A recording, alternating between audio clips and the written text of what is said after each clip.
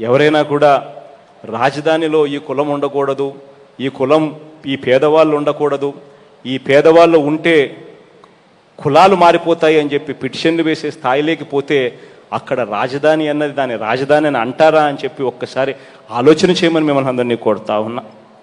కులాలు మతాలు ప్రాంతాల వారు అందరూ కలిసి ఉండగలిగితేనే దాన్ని రాజధాని అని అవుతుంది. అప్పుడే అది రాజధాని అవుతుంది. అందరికీ అందరికీ చోటిస్తేనే అది సమాజం అవుతుంది అందరికీ మంచి చేస్తేనే అది ప్రభుత్వం అని చెప్పి అనిపించుకుంటుంది.